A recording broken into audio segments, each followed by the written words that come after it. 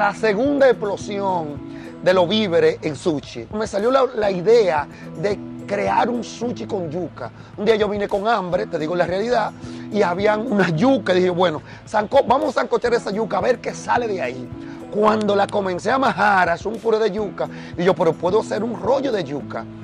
Y le comencé a poner el quesito crema, queso por dentro, le comencé a poner huevo, salami, hay un rollo que es de salami y huevo, queso crema y aguacate también, que es el dominicano, que es un sushi muy bueno de yuca. Y de ahí salió la creatividad y la fusión, los que es el yucuchi, originalmente en Make Sushi by Cristino.